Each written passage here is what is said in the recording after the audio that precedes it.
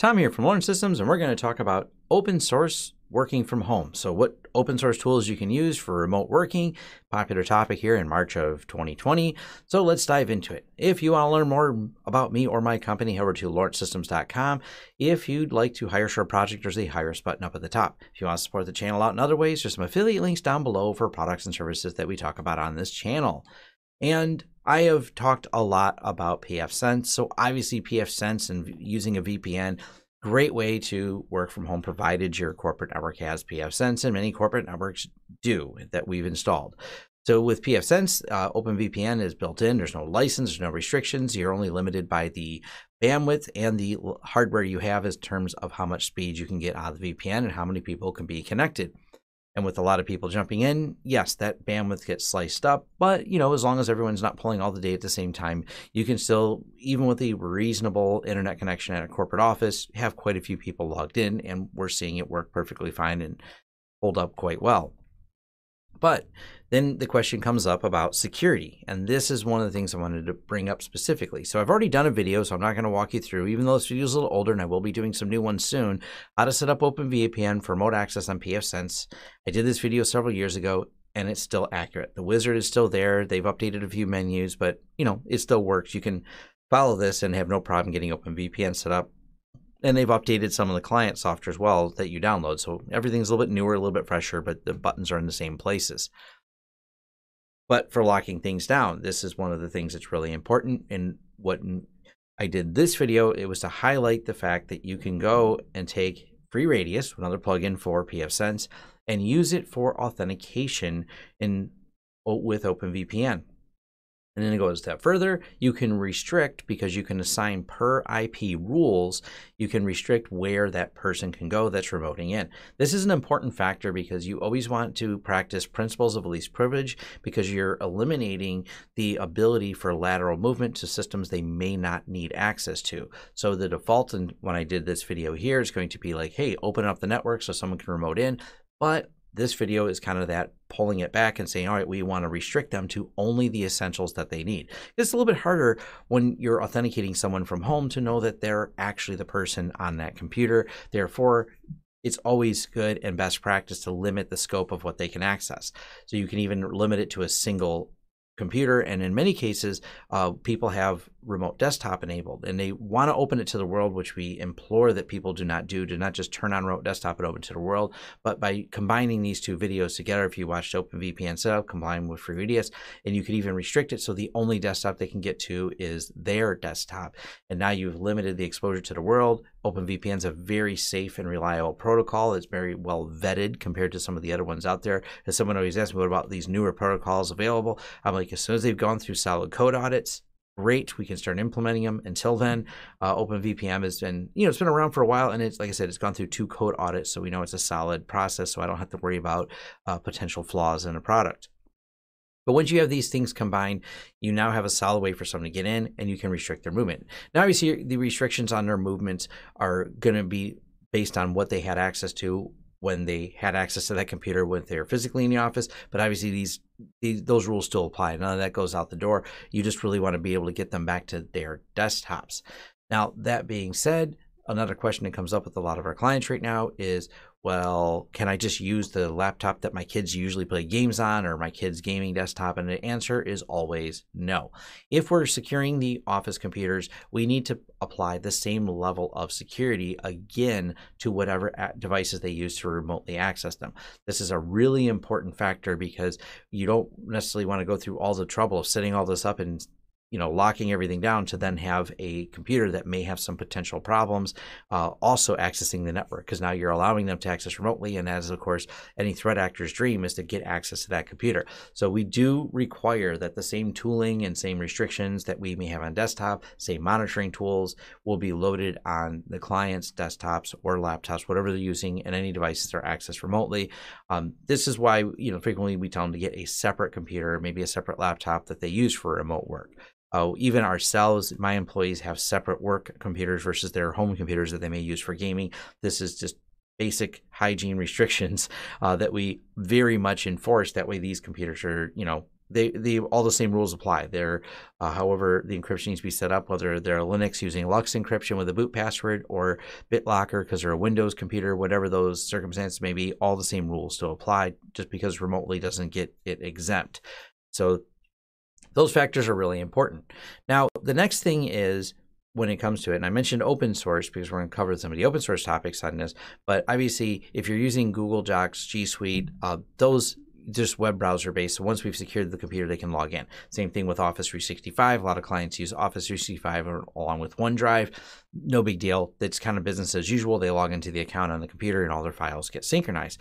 But what if you're an open source advocate and you don't want to use either one of those tools? Well, the one that's come up quite a bit is Nextcloud. And Nextcloud I did a video on. I need to do a new one because they changed the way the installer works. So I will be doing a new Nextcloud video. But Nextcloud on FreeNAS is a nice solution. And because I've done a lot of FreeNAS videos, I've seen a lot of emails and uh, forum posts, people asking about this. Yes, you can set this up but I've been encouraging people not to just open it up. And the reason why is frequently people who load this based on the plugin. So right here is Nextcloud 1701 and it's loaded from the plugin and I went through the setup and it works great, except it's a little bit older of a version and people that are doing this may or may not have the skills to mitigate threats that come at them. Also, the default out of the box configuration is not secure, as in not HTTPS. There's one of the challenges. Now, I just did a series of videos on how to secure things using that have either no certificate or need a certificate using HAProxy. That's great for the security side in terms of adding the proxy to it, and I, I can link to those videos, but those still don't mitigate the problem if, if there's a flaw in, inside of this. You are reliant on the GitHub repository for the IOCage plugin that updates this to keep this up to date. So if you have decided just to publicly expose Nextcloud and someone finds a flaw in it, how good are you at getting that mitigated and getting that flaw? That's really what it's going to depend on. And if you're not up to date on this or you're like a set it and forget it kind of person, this can really cause a problem for you. So one of the things I had mentioned before was Syncthing. And this is something we use. And one of the reasons why is because it reduces threat surface. And what threat surface is, is when you do things like open up Nextcloud, which, like I said, a great solution, I just really encourage people to put it behind a VPN. That way, if there's any type of flaws, they would have to be on the inside of the network, a threat actor would, which is less likely. Therefore, you're helping reduce your threat surface as opposed to publicly exposed where any botnet can attack it. But that's where we get ourselves to Syncthing. Now, Syncthing is a really impressive tool. It's actually been a little while since I did a video on it, and they've added some more features. Uh, I love all the new features they added, including um, really simple revisioning that goes right on inside the browser. But these videos from a few years ago are still relevant in terms of how to set it up and how to get it going, how to get rolling with it. And you can actually see my server backups. This is actually my production system. It just sent the server backup off site and those server backups go here it is synchronizing to here uh, offsite. What this allows me to do is I have like my business documents and my LTS graphics documents. I was just playing around, updated test.txt file.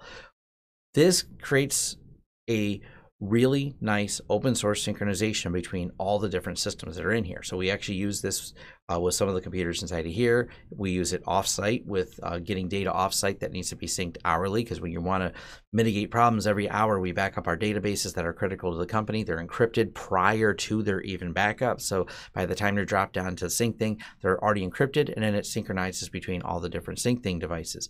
What this is, is very much like, let's say, an open source version of Dropbox. I bring up Dropbox because so many people are familiar with the product, but Syncthing runs as a desktop app on my computer here. That means this one right here that says Tom Syncthing. If I edit anything on my computer, it instantly synchronizes my business documents folder and my graphics folder. So if I need to edit a file, I can synchronize it instantly as soon as I save. Now, the other advantage of Syncthing is QuickBooks. And I bring this up because I know at least a lot of you really like QuickBooks, but really any program that needs large file access. And this is where it gets a big, a really big challenge. If you're using something to edit files, even graphics files, the problem of doing that over a VPN, because a few people have asked me, like, can I just do my shares over a VPN? Is VPNs occasionally can get disrupted, the internet can get disrupted, or they may not have the bandwidth. So opening a large file and trying to do a share across VPN, and QuickBooks being one of the uh, things that a lot of clients have asked us about, it will have problems. If that VPN drops at all, it can crash that file and get it corrupted. The way SyncThing works, it's creating a copy on your computer. And as you save that file, it then synchronizes that copy all the other locations. The good and bad with this though, if you do this and two people try to edit the same file at the same time, you end up with a conflict. So that's something you have to be conscious of. But in terms of having a local copy of all your files and having them replicated, that's a pretty good way to do it. So if you set this up and set up SyncThing and synchronize it with let's say you set it up on FreeNAS, like I have these set up, and you have all your files on SyncThing, and then you were working from home and you have it remotely synced, that would be great. Now, I still recommend syncing it over a VPN, but the good news is if you choose not to do that, SyncThing itself, the transport layer of SyncThing, is completely encrypted. Therefore, if you do set up two sites to synchronize all the data to, or synchronize all your uh, business documents or graphics files to, uh, you at least are sending them over an encrypted channel. Like I said, VPN is preferred, but encrypted channels are good too, so it's kind of a fallback. And SyncThing has added, and they do have some discovery services where you can have these things uh, connect, and they will proxy through SyncThing in order to have discovery of different devices. But the, the obviously the even better way to do this, and if you look at the way I connect to each one of these, I'm actually connecting directly to IP address. So you can do the auto discovery, and I have that covered in a video of how to set up SyncThing. I'll be doing some new videos on it, but auto discovery works, so does direct. So these are a couple of the ways that uh, you can easily work from home. Like I said, SyncThing, I, I talk about it because it reduces the threat surface and things like that. But if you want some of that nicer file sharing, I think Nextcloud's a great service but you have to make sure you're keeping up to date and you just open yourself up to quite a bit of exposure if you just open the ports up. And unfortunately, a lot of people did. And when there was a flaw not that long ago that was in specifically Nginx, but then exploited by people who had publicly exposed Nextcloud instances, um, it kind of created a lot of disasters for people who go, oh, I thought I could just expose it, and I didn't get around to hitting that update button. And uh, yeah, now a lot of people ended up with a real problem. So you, you don't want to do that. You don't want your uh, strategy to work from home to cause you further grief. You want it to hopefully go really smooth. VPNs are easiest way to you know keep everything lock and key um, back there follow these videos if you're on a larger network. And yes, for those wondering, yes, you can go through and use other authentication methods besides uh, FreeRADIUS. I haven't covered them in a video or would link to them, but I will leave link to these videos here because uh, I know some people asked about will pfSense authenticate against like an Active Directory network. Yes, it will. That is possible and can be done um, if that's what you need. So I'll leave links to all this so you can hopefully get started on this because, uh, like I said, popular topic here in 2020. And uh, leave comments and concerns below or head over to our forums. We can have a discussion about this. All right, and thanks. And thank you for making it to the end of the video. If you like this video, please give it a thumbs up. If you'd like to see more content from the channel, hit the subscribe button and hit the bell icon if you like YouTube to notify you when new videos come out. If you'd like to hire us, head over to lawrencesystems.com, fill out our contact page, and let us know what we can help you with and what projects you'd like us to work together on. If you want to carry on the discussion, head over to forums.lawrencesystems.com where we can carry on the discussion about this video, other videos, or other tech topics in general. Even suggestions for new videos, they're accepted right there on our forums, which are free. Also, if you'd like to help the channel out in other ways, head over to our affiliate page. We have a lot of great tech offers for you. And once again, thanks for watching and see you next time.